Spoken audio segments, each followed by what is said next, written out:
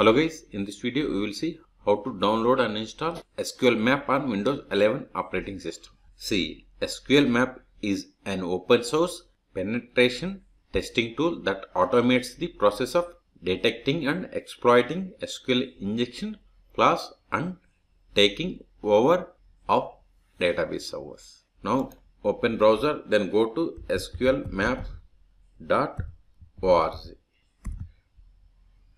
This is the official website. Okay. Now click on this download zip file. See the definition here also. Okay. Click on this download zip file. See download started. Go to downloads. See it is only 7.2 megabytes. Go to the folders, right click and extract all.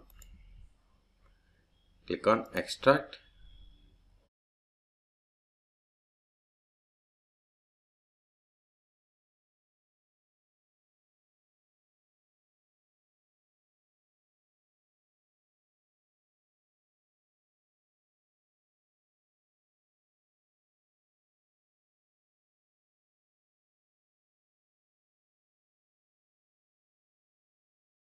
Copy this entire directory C drive or anywhere it is fine. I am going to paste in program files. Click on continue.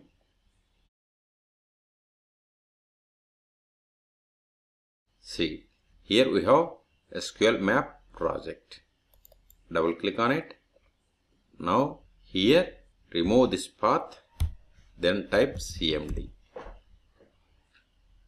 now type python then this sql map dot py that is python file. Sql map dot py. That's all okay? To work with this sql map you have to give these options. That's why it is asking press enter to continue. That's all about the SQL Map installation on Windows 11 operating system. For more pen test or hacking tools, please subscribe my channel. Thank you.